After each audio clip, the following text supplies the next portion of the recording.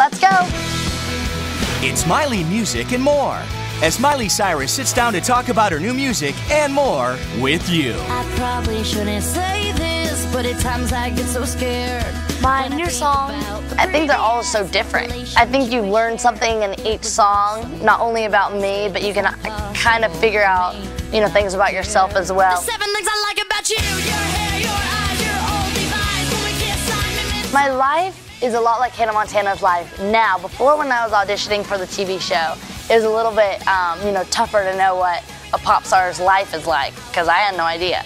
Now I see, you know, how hard it really is to balance being, you know, pop star and then just a normal girl.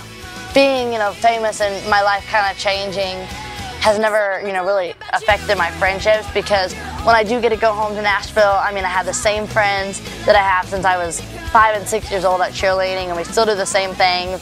It can be hard, you know, staying true to yourself, but I think just thinking back to when I was, you know, 11 years old and auditioning for Hannah Montana and how much I loved it and how much I wanted it, and just seeing, you know, like I fought so hard and now I'm finally here.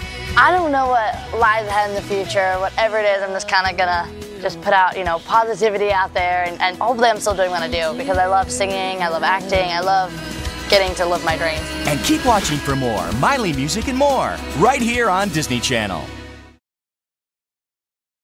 Let's go! It's Miley Music and more. As Miley Cyrus sits down to talk about her new music and more with you. The seven things I like about you, your hair, your eyes, your old Levi's. When we kiss, I'm My new songs have a little bit of a different vibe. I finally got to kind of step out and do exactly what kind of sound I wanted to do. For my last record, I had to introduce myself. And now that people already know who I am and, and know a little bit about me, this is just, you know, getting to know me personally.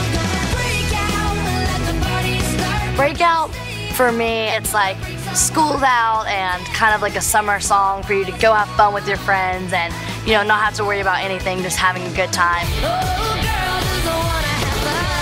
Girls Just Want to Have Fun was awesome to, you know, going to do a remake of a song and make it completely different. Because when you first listen to the song, it's like you're not even sure what it is. It's something completely new. And I think that's so much fun because you almost have to relearn the song, which is which is different, you know, than any other remake I've heard.